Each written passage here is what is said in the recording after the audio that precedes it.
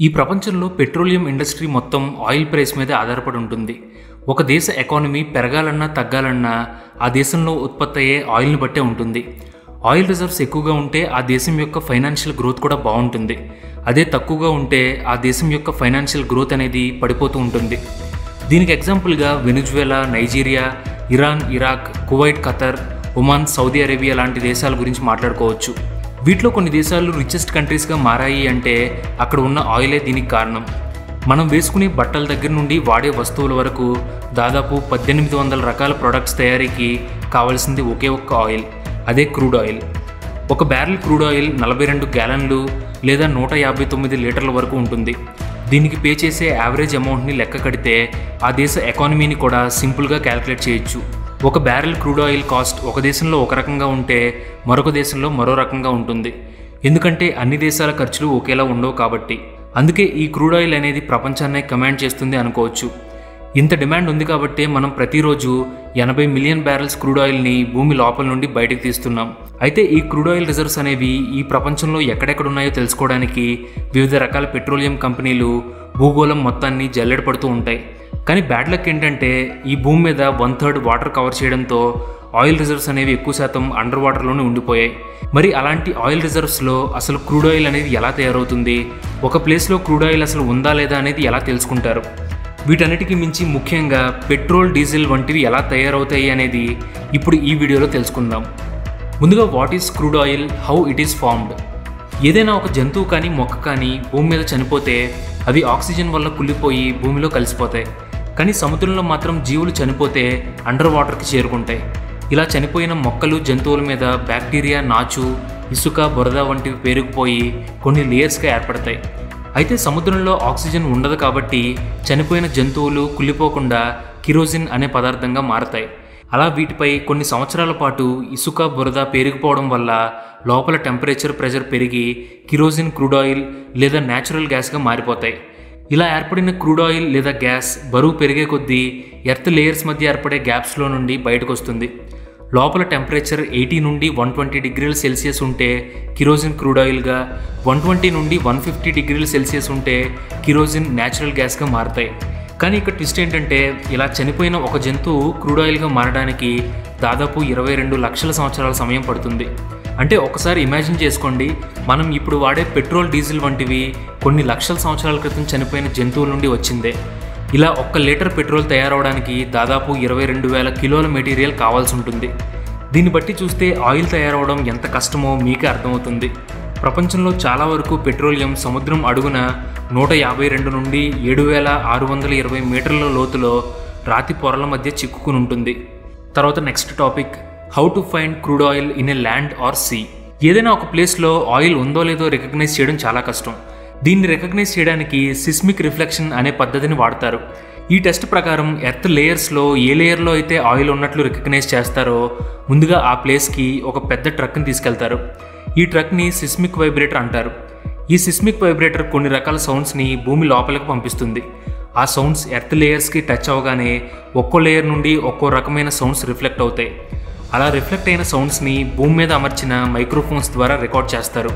Same ఇలాంటి ప్రాసెస్నే under వాటర్లో కూడా యూజ్ చేస్తారు. సముద్రం మీద ఉండే సిస్మిక్ వైబ్రేటర్తో రెండు వందల యాభై డిసిబల్ సౌండ్ని సముద్రం లోపలికి పంపిస్తారు. ఆ సౌండ్స్ అండర్ వాటర్లో ఉండే లేయర్స్ని టచ్ అయ్యి పైకి రిఫ్లెక్ట్ అవగానే పైనున్న మైక్రోఫోన్స్ ద్వారా ఆ సౌండ్స్ని రికార్డ్ చేస్తారు. అలా రికార్డ్ చేసిన సౌండ్స్ని జియాలజిస్టులు కంప్యూటర్లో ప్రాసెస్ చేసి దాన్ని శాటిలైట్ ద్వారా ఫైండ్ అవుట్ చేసి ఆ ప్లేస్లో ఆయిల్ ఉందో లేదో రికగ్నైజ్ చేస్తారు. Next what is offshore drilling? సింపుల్గా చెప్పాలంటే ఆఫ్ షోర్ డ్రిల్లింగ్ అనేది అండర్ వాటర్లో ఉండే ఆయిల్ని బయటికి తీసే ప్రాసెస్. ఈ టెక్నాలజీని ఉపయోగించి ఎన్నో రకాల కంపెనీలు ఆయిల్ డిపాజిట్స్ నుండి ఆయిల్ని బయటికి తీస్తాయి. ఈ ప్రాసెస్లో సముద్రానికి అడుగు భాగంలో ఒక హోల్ని చేస్తారు. ఆ హోల్ నుండి ఆయిల్ని పైకి తోడతారు. ఈ ఆఫ్షోర్ ఆయిల్ డ్రిల్లింగ్ కోసం సముద్రంపై టవర్స్ రూపంలో కొన్ని పెద్ద స్ట్రక్చర్స్ని ఏర్పాటు చేస్తారు. ఇవి నీటి లోపల పన్నెండు వందల ఇరవై మీటర్ల లోతు వరకు వెళ్తాయి. ఈ స్ట్రక్చర్స్ అనేవి పెద్ద పెద్ద బిల్డింగ్స్ కంటే కూడా పెద్దగా ఉంటాయి. అంతేకాకుండా ఈ ఆఫ్షోర్ ఆయిల్ ప్లాట్ఫామ్స్ ఒకే చోట స్టేబుల్గాను ఉంటాయి లేదా అవసరం అనుకుంటే ఒక చోట నుండి మరొక చోటకి మూవ్ చేయడానికి కూడా వీలుగా ఉంటాయి. ఆఫ్షోర్ ఆయిల్ రిగ్లు గత కొన్ని సంవత్సరాల్లో బాగా డెవలప్ అయ్యాయి. దీనికి కారణం ఇవి ఒకేసారి వేలాది మందికి ఉపాధిని కల్పించేవిగా ఉండటమే.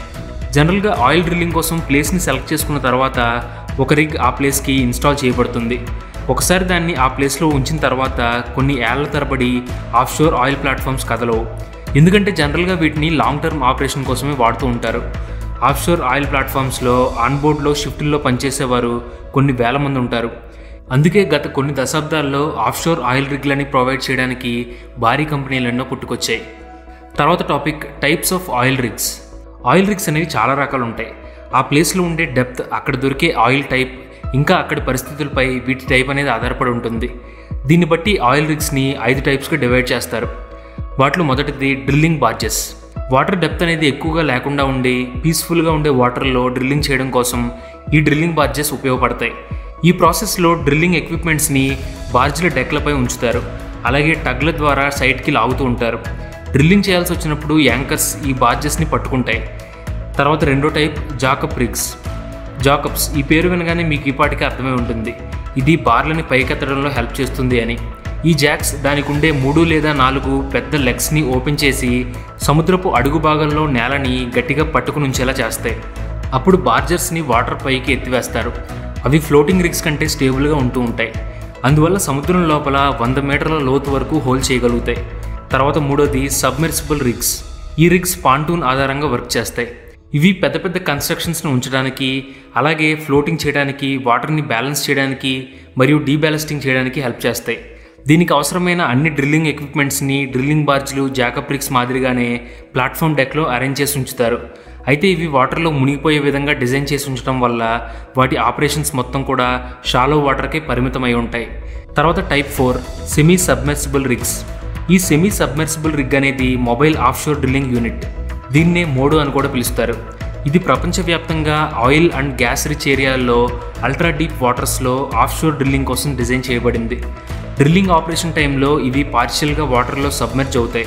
అలాగే యాంకర్స్ ద్వారా సముద్ర గర్భానికి మూవ్ అవుతూ ఉంటాయి. ఫైనల్గా టైప్ ఫైవ్ డ్రిల్ షిప్స్ సముద్రం లోపల ఉండే ఆయిల్ అండ్ గ్యాస్ రిజర్వ్స్ని డ్రిల్ చేయడానికి ఆఫ్షోర్ డ్రిల్లింగ్ అనేది ఒక కంప్లీట్ సొల్యూషన్ అని చెప్పుకోవచ్చు. ఎలాగంటే ఈ డ్రిల్ షిప్లలో మోస్ట్ ఎక్స్పెన్సివ్ మిషనరీ ఇంకా డ్రిల్లింగ్ ఎక్విప్మెంట్స్ ఫిట్ చేసి ఉంటాయి. ఇవి మిగిలిన డ్రిల్లింగ్ యూనిట్లో ఫిట్ చేసిన ఎక్విప్మెంట్స్కి ఈక్వల్గా ఉంటాయి. ఎందుకంటే సుమారు మూడు వేల మీటర్ల వరకు అల్ట్రా డీప్ వాటర్ ఏరియాల్లో వర్క్ చేయాల్సి ఉంటుంది కాబట్టి ఈ ఎక్విప్మెంట్స్ మొత్తం ఆఫ్షోర్ వర్క్ బోట్ల ద్వారానే సప్లై చేయబడతాయి. ఈ డ్రిల్ షిప్స్ మూన్ పూల్తో డ్రిల్లింగ్ డెక్ని కలిగి ఉంటాయి. ఇంకా ఇతర డ్రిల్లింగ్ యూనిట్స్ మాదిరిగానే డిజైన్లో కొంతవరకు ఈక్వల్గా ఉంటాయి. ఈ మూన్ పూల్ ద్వారా వెళ్ళే డ్రిల్లింగ్ ఎక్విప్మెంట్స్ రైజర్ పైప్ అనే పైప్ ద్వారా సబ్సీ లెవెల్కి కనెక్ట్ అయి ఉంటాయి. తర్వాత final topic how offshore oil rigs work? సముద్రం లోపల ఒక ప్లేస్లో ఆయిల్ రిజర్వ్స్ ఉన్నాయని కన్ఫర్మ్ అయితే ఆ ప్లేస్ దగ్గరికి డ్రిల్లింగ్ బార్జెస్ని పంపుతారు. శాటిలైట్ సిగ్నల్స్ ఆధారంగా ఏ ప్లేస్లో అయితే ఆయిల్ ఉన్నట్లు కన్ఫర్మ్ అయిందో కరెక్ట్గా ఆ ప్లేస్ దగ్గరే ఈ డ్రిల్లింగ్ బార్జెస్ని నిలిపి ఉంచుతారు. దీని కింద ఉండే ప్రొపెల్లర్స్ సముద్రంలో వచ్చే అలల దాటికి కదలకుండా ఒక ప్లేస్లో పట్టి ఉండేలా చేస్తాయి. మొదట కండక్టర్ పైప్ని వాటర్లో నుండి భూమి లోపలికి పంపి డ్రిల్ చేసి ఫిట్ చేస్తారు. ఫిట్ చేసిన వెంటనే ఆ డ్రిల్లింగ్ పైప్ని పైకి లాగేస్తారు.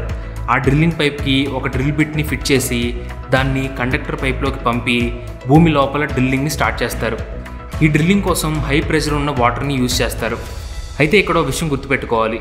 భూమిపై కంటే కూడా సముద్రం లోపల ఐదు వందల రెట్లు ఎక్కువ ప్రెషర్ ఉంటుంది. సో ఈ ప్రెషర్ వల్ల చేసిన హోల్ కూడా ఒక్కోసారి కొలాప్స్ అయ్యే అవకాశం ఉంది.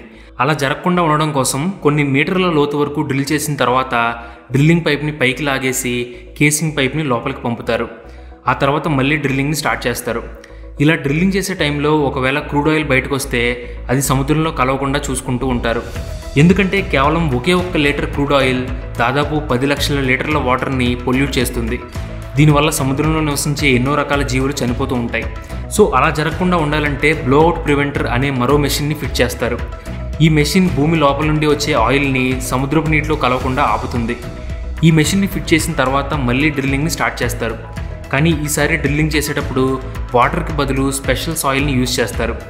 ఎందుకంటే అంత లోతులో అక్కడ ఉండే ప్రెషర్కి డ్రిల్లింగ్ కోసం మనం వాటర్ని యూజ్ చేసినా సరే హోల్ కొలాప్స్ అయ్యే ప్రమాదం ఉంటుంది. అలా జరగకుండా ఉండడానికి ఈ స్పెషల్ సాయిల్ని లోపలికి పంపుతూ డ్రిల్ చేస్తారు. ఒకవేళ డ్రిల్లింగ్ సక్సెస్ అయితే ఆయిల్ బయటపడచ్చు లేదా గ్యాస్ అనేది రావచ్చు. ఒక్కోసారి రెండూ కూడా బయటపడచ్చు. అయితే ఈ సమయంలో ఒకేసారి ఆయిల్ గ్యాస్ రెండూ బయటపడితే ముందుగా గ్యాస్ని బయటకు తీసి కంటైనర్స్లో స్టోర్ చేస్తారు. ఈ కంటైనర్స్ నుండే మనం వంట కోసం వాడే గ్యాస్ తయారవుతుంది. ఆ తర్వాత ఆయిల్ని బయటకు తీసి ప్రాసెసింగ్ కోసం దగ్గరలో ఉండే ప్లాంట్కి పంపిస్తారు. ఇలా బయటకు తీసిన క్రూడ్ ఆయిల్ మరియు న్యాచురల్ గ్యాసుల్లో చాలా డస్ట్ ఉంటుంది. గ్యాస్లో ఉండే డస్ట్ని కొన్ని ఫిల్టర్స్ ద్వారా ప్యూరిఫై చేస్తారు. ఆ తర్వాత గ్యాస్లో ఉండే కెమికల్స్ని కొన్ని ప్రాసెస్ల ద్వారా రిమూవ్ చేసి ప్యూర్ గ్యాస్ని తయారు చేస్తారు. దీన్నే ఇప్పుడు మనం ఇళ్ళల్లో వాడుకుంటూ ఉంటాం. ఇక క్రూడ్ ఆయిల్ విషయానికి వస్తే ముందుగా దీన్ని ఫిల్టర్ చేస్తారు. ఆ తర్వాత ఒక పెద్ద సిలిండర్లో వేసి హీట్ చేస్తారు. ఇలా హీట్ చేసిన క్రూడ్ ఆయిల్ ఒక్కో టెంపరేచర్ దగ్గరికి రాగానే ఒక్కో కెమికల్ బయటకు వస్తూ ఉంటుంది. ఫైనల్గా offshore drilling and impact on environment. Offshore drilling మరియు ఆఫ్షోర్ ఆయిల్ ప్లాట్ఫామ్ల డెవలప్మెంట్ కోసం పెట్రోలియం కంపెనీలు ఇప్పటికే కొన్ని బిలియన్ల రూపాయలు ఇన్వెస్ట్ చేశాయి. ప్రపంచవ్యాప్తంగా ఉండే మహాసముద్రాల్లో ఆయిల్ రిజర్వ్స్ భారీ మొత్తంలో ఉన్నాయి. వరల్డ్ వైడ్గా ఇప్పటివరకు one point seven three trillion barrels oil మనకు అందుబాటులో ఉంది. అయితే ఈ ఆఫ్షోర్ ఆయిల్ రిగ్స్ అనేవి ఎన్విరాన్మెంట్ మీద బ్యాడ్ ఎఫెక్ట్ని చూపిస్తాయి. ఆయిల్ డ్రిల్లింగ్ వల్ల రిగ్స్ అనేవి ఎక్స్ప్లోడ్ అవ్వడం అలాగే డ్యామేజ్ అవ్వడం జరుగుతూ ఉంటాయి. వెదర్ కండిషన్స్ జియోలాజికల్ కండిషన్స్ అన్నీ కూడా ఈ ఆఫ్షోర్ డ్రిల్లింగ్ ప్రాసెస్కి ఛాలెంజ్ విసురుతూ ఉంటాయి. అందుకే ఈ ఆఫ్షోర్ డ్రిల్లింగ్ అనేది మోస్ట్ డేంజరస్ ప్రాసెస్ అని చెప్తూ ఉంటారు. ఆఫ్షోర్ డ్రిల్లింగ్ జరుగుతూ ఉన్నప్పుడు రిగ్స్ నుండి క్రూడ్ ఆయిల్ స్పిల్ అవ్వడం ముఖ్యంగా oil and natural gas release అయ్యేటప్పుడు ఈ రెండు హెవీ మెటల్స్ని సపరేట్ చేసేటప్పుడు ఓషన్ ఎకాలజీకి డిస్ట్రప్షన్ జరుగుతూ ఉంటుంది. అందుకే ఈ ఆఫ్షోర్ డ్రిల్లింగ్ అనేది ఎన్విరాన్మెంట్ మీద ఇంపాక్ట్ని చూపిస్తుంది. ఏదేమైనా సరే మనుషులు తమ అవసరాలు తీరే వరకు ఈ భూమి మీద ఉండే రీసోర్సెస్ని వదలకుండా వాడుకుంటూనే ఉంటారు. కానీ కొన్నిసార్లు ఎన్విరాన్మెంట్ గురించి కూడా ఆలోచించడం మనుషులకి మేలే చేస్తుంది. So friends I hope you like this video ఈ టాపిక్ మీద మీ ఒపీనియన్ని కింద కామెంట్స్లో అందరితో షేర్ చేసుకోండి. Thanks for watching